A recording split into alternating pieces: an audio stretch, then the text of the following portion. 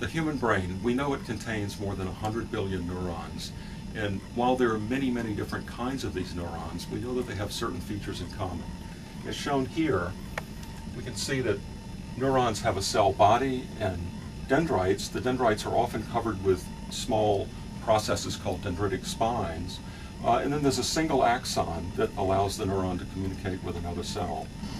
So as this neuron is excited or inhibited uh, through these inputs, um, there are postsynaptic potentials which are set up in the cell, and there's a summation of the excitatory and inhibitory postsynaptic potentials. This depolarization ultimately impinges on a very specialized region of the cell known as the axon initial segment, which is rich in voltage-gated sodium channels. Importantly, axons are coated with a special uh, material, a fatty substance referred to as myelin, which is made by oligodendroglia. The myelin is arranged in segments which uh, have gaps between them. These so-called gaps are known as the nodes of Ranvier. The nodes of Ranvier, much like the initial segment of the axon, are regions of the neuron which are rich in voltage-gated sodium channels. In the movie that you're about to see, the myelin will be depicted by performers lying along the edge of the axon. As the um, depolarizing current of the action potential spreads down the axon from the initial segment, it opens up voltage-gated sodium channels and allows uh, sodium to flow into the axon, as seen here. This is depicted in the film by performers throwing salt into the axon. Meanwhile, as this process moves forward, uh, the upstream sodium channels begin to deactivate, whereas potassium channels become active and potassium uh, exits the axon at that point. Uh, this is seen in the film as performers throwing bananas out of the axon. Eventually, the action potential that we've been talking about invades the axon terminal. Here, once again, the depolarization causes an opening of the voltage-sensitive calcium channels. Calcium rushes into the, into the terminal, and through a very elaborate series of events, causes the fusion of many of the synaptic vesicles with the axon terminal. This releases neurotransmitter, which then travels across the cleft and binds to receptors on the postsynaptic neuron. There are, of course, conditions in which this elegant process is disrupted. Uh, one example, uh, which is very dramatically illustrated in the film, is demyelination. Uh, here, in certain autoimmune diseases, our body's immune system actually attacks components of the myelinated sheath, either the myelin or the oligodendroglia, and destroys it. In this case, uh, the action potential progresses down the axon, but because of the lack of myelin and the lack of the internodes, it is dramatically slowed down, in some cases blocked, by the damage to the myelin. What you're about to see in this rare, probably never before attempted documentary film is a dramatic human reenactment of the action potential in action and indeed in failure as well in a demyelinating disease.